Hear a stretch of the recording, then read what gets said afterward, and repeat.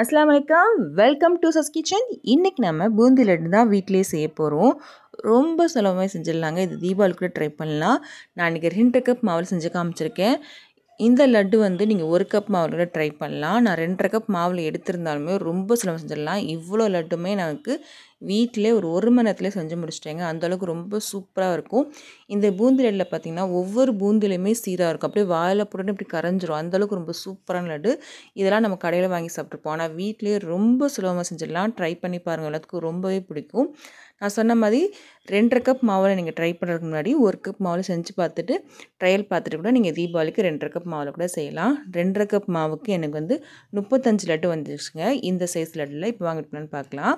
நான் சொன்ன மாதிரி ரெண்டரை கப் கடல மாவு எடுத்து வச்சுருக்கேன். இதில் வந்து ஒரே ஒரு சிட்டிகை அளவுக்கு உப்பு சேர்த்துக்கலாம்.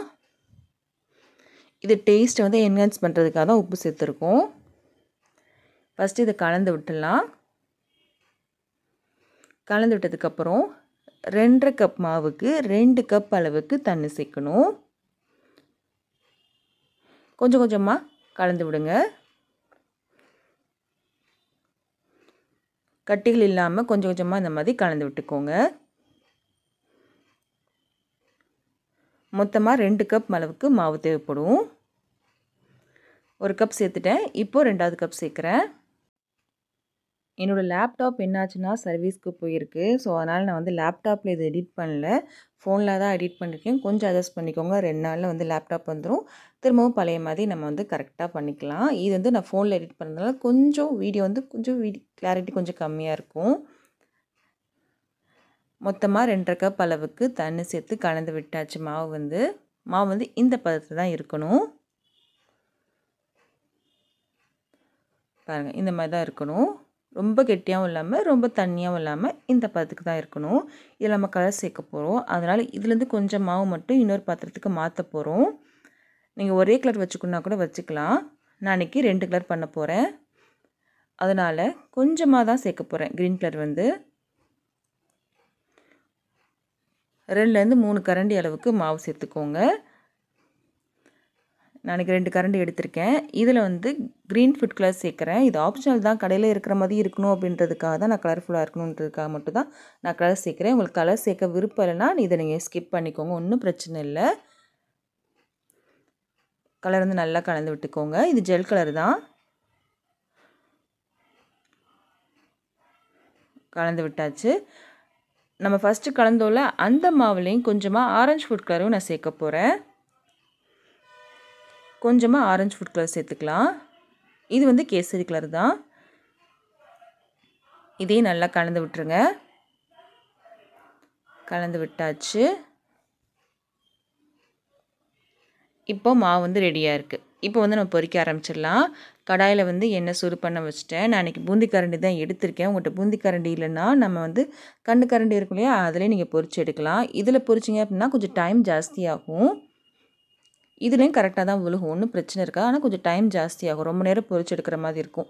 இந்த கரண்டி எடுத்திங்கன்னா டக்குன்னு வேலை முடிஞ்சிடும் இதெல்லாம் எல்லா இடத்துலையும் இப்போ கிடைக்க ஆரம்பிச்சிருச்சு. நீங்கள் வேணால் ட்ரை பண்ணி பாருங்கள் இது இல்லைன்னா ஒன்றும் பிரச்சனை இல்லை. நம்ம கண்ணு கரண்டி இருக்குல்லையே அதுலேயே நீங்கள் வந்து ட்ரை பண்ணி பாருங்கள் இந்த மாதிரி சின்ன ஜல்லி கரண்டி தான் உங்கள்கிட்ட இருந்தால் கூட இதில் கூட ட்ரை பண்ணலாம். ஒன்றும் பிரச்சனை இல்லை. ஃபஸ்ட்டு நம்ம வந்து பூந்தி கரண்டி இருக்குல்லையா அதுலேயே நான் ஃபஸ்ட்டு பொறிச்சு காமிக்கிறேன். இந்த பூந்திக்கரண்டி எடுத்தீங்க அப்படின்னா ஒவ்வொரு டைமும் நீங்கள் பொரிச்சதுக்கப்புறம் மாவு சேர்த்து பொரிச்சதுக்கப்புறம் இந்த கரண்டி வந்து க்ளீன் பண்ணிக்கணும். அப்போ தான் உங்களுக்கு கரெக்டாக பூந்தி மாதிரி விழுகும். இது பொரிக்கும் போது எண்ணெய் வந்து நல்லா சூடாக இருக்கணும். சேர்த்து இந்த மாதிரி கலந்து விட்டு இப்போது நம்ம சேர்த்துட்டோம் இல்லையா? இப்போ இந்த கரண்டியில் மாவு இருந்துச்சுன்னா அதை க்ளீன் பண்ணிக்கோங்க.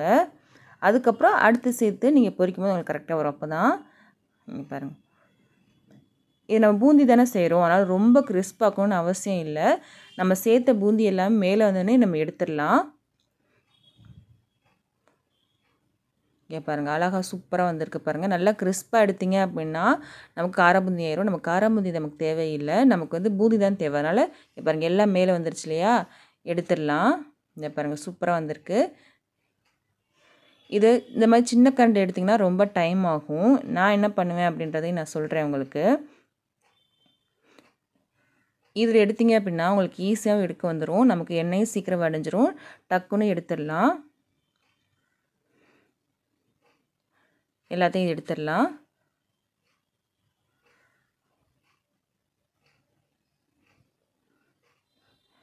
திரும்பவும் கரண்டியை க்ளீன் பண்ணியிருக்கேன் பாருங்கள் க்ளீன் பண்ணிவிட்டு தான் நம்ம வந்து மாவு சேர்க்கணும். இல்லை அப்படின்னா உங்களுக்கு கரெக்டாகவே விழுகாது உங்களுக்கு. இந்த மாதிரி எல்லாத்தையும் பொறிச்சு எடுத்துக்கலாம். ஒரு டைமுக்கு நான் ரெண்டு கரண்டி மாவு சேர்த்துருக்கேன்.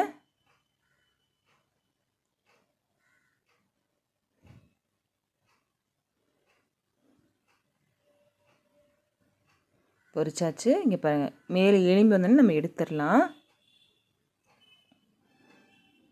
இப்போ நம்ம க்ரீன் கலர் செஞ்சு வச்சுருந்தோம்ல அதையும் நம்ம பொரிச்சு எடுத்துடலாம்.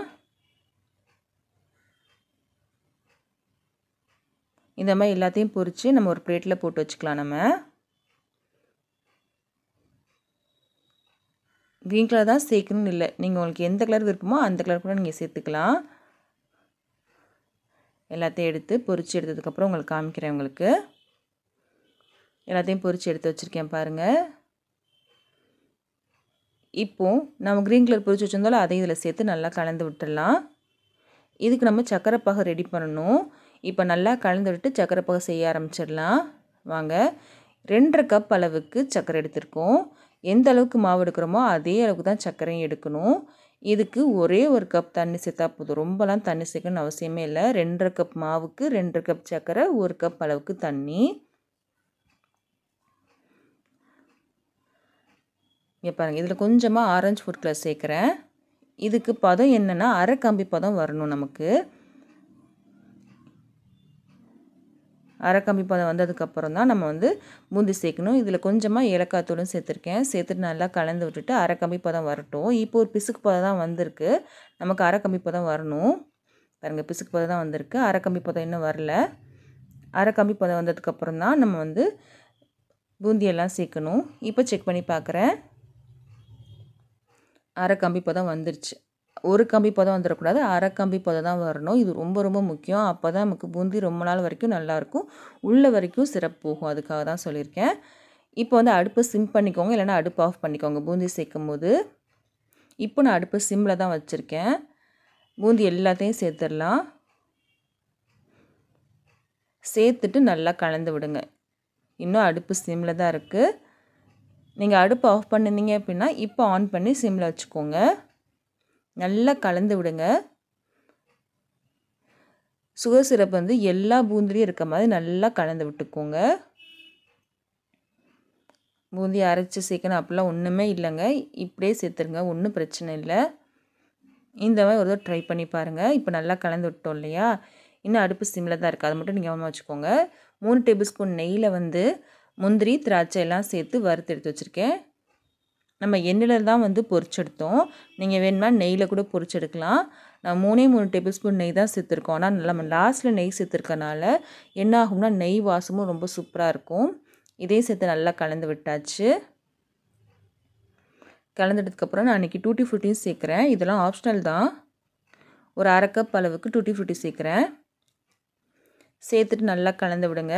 இப்போ சைடில் பார்த்தீங்கன்னா உங்களுக்கு லைட்டாக பபுள்ஸ் வருதுல இந்த மாதிரி தான் வரணும். ஒன்றும் பிரச்சனை இல்லை. நல்லா கலந்து விட்டுட்டு அடுப்பு ஆஃப் பண்ணிடலாம் அவ்வளோதான் அப்படியே ஒரு மணி நேரம் விட்டுருங்க. இப்போ நல்லா கலந்து விட்டாச்சு. கலந்து விட்டதுக்கப்புறம் மூடி வச்சுருங்க. ஒரு மணி நேரத்துக்கு திறக்க வேண்டாம். சைடில் இந்த மாதிரி பபுள்ஸ் வரணும். வந்தால் மட்டும்தான் உங்களுக்கு கரெக்டாக இருக்கும். இப்போ பாருங்கள் சைடில் பபுள்ஸ் வருது இல்லையா? இப்போ நம்ம அடுப்பு ஆஃப் பண்ணிடலாம். அடுப்பு ஆஃப் பண்ணிட்டு அப்படியே ஒரு மணி நேரத்துக்கு விட்டுருங்க. இன்னும் தொட வேண்டாம். ஒரு மணி நேரத்துக்கு அப்புறம் நம்ம லட்டு பிடிக்க ஆரம்பிச்சிடலாம். இப்போ நான் அடுப்பு ஆஃப் பண்ணிட்டேன்.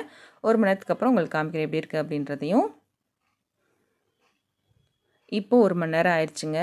நம்ம சுகர் சப் சேர்த்துருந்தோம் அது எல்லாமே வந்து பூந்தி நல்லா ஊறிடுச்சு. பாருங்கள் எவ்வளோ சூப்பராக வந்திருக்கு அப்படின்னு. உள்ள வரைக்கும் சிறப்பு போயிருக்கு பாருங்கள் இப்போது லட்டு பிடிக்கிறது ரொம்ப ஈஸியாக இருக்கும். எல்லாத்துலேயுமே நமக்கு சுகர் சிறப்பு இருக்குது பாருங்கள் நெய்யோட வாசம் அவ்வளோ சூப்பராக இருக்கும். லாஸ்ட்டில் சேர்த்ததுனால இப்போ நம்ம லட்டு பிடிக்க ஆரம்பிச்சிடலாம். எவ்வளோ கலர்ஃபுல்லாக இருக்குது பாருங்கள் லட்டுவே. டூட்டி ஃப்ரூட்டி வந்து ரெட் கலரில் இருக்குது நம்ம க்ரீன் கலர் சேர்த்து பொரிச்சிருக்கோம். அதனால் ரொம்பவே சூப்பராக கலர்ஃபுல்லாக இருக்கும். டேஸ்ட்டும் அட்டகாசமாக இருக்கும். கண்டிப்பாக ட்ரை பண்ணி பாருங்கள் லட்டு பிடிக்கிறதுக்கும் கஷ்டமே இருக்காது. ஈஸியாக லட்டு பிடிக்க வந்துடும் ட்ரை பண்ணி பாருங்கள் ரொம்பவே ஈஸியாக இருக்கும். இது கடையில் செய்கிற மாதிரியே இருக்குங்க. ட்ரை பண்ணி பாருங்கள் உங்களுக்கு ரொம்ப பிடிக்கும். இந்த தீபாவளிக்கு ட்ரை பண்ணி பார்த்துட்டு எப்படி இருக்குன்னு சொல்லுங்கள் இந்த வீடியோ பிடிச்சிச்சுன்னா அப்படின்னா ப்ளீஸ் லைக் பண்ணுங்கள் லைக் பண்ணால் தான் இந்த வீடியோ நிறைய பேருக்கு ரெக்கமெண்ட் ஆகும். நிறைய பேர் சப்ஸ்கிரைப் பண்ணாமல் தான் பார்த்துட்ருக்கீங்க. ப்ளீஸ் சப்ஸ்கிரைப் பண்ணுங்கள் இந்த மாதிரி ரெசிபிஸ்லாம் உங்கள் ஃப்ரெண்ட்ஸ்க்கும் ஃபேமிலிஸ்க்கும் பிடிக்கும் அப்படின்னா அவங்களுக்கு இந்த வீடியோ ஷேர் பண்ண மறக்காதீங்க. நம்ம அடுத்த வீடியோ சந்திக்கலாம்.